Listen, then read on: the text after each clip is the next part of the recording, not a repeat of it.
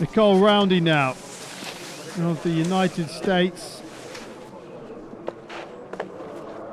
On her profile, it says that uh, what sets her apart from others, both as a rider and competitor on the national team, is her right knee is entirely mechanical. She says, I have a knee for snowboarding and I have a knee for everything else. I also have a spare knee. You, know, you know, you just, just in case. Well, there you go. They're doing a good job on these opening turns.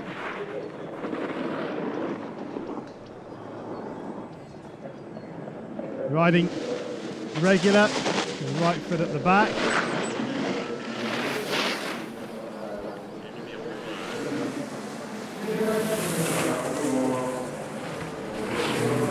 Roundy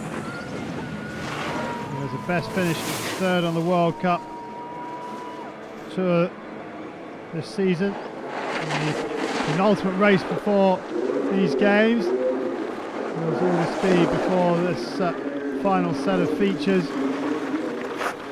And I think once all the riders have uh, had one go at this course, they will let the board flow more freely on run.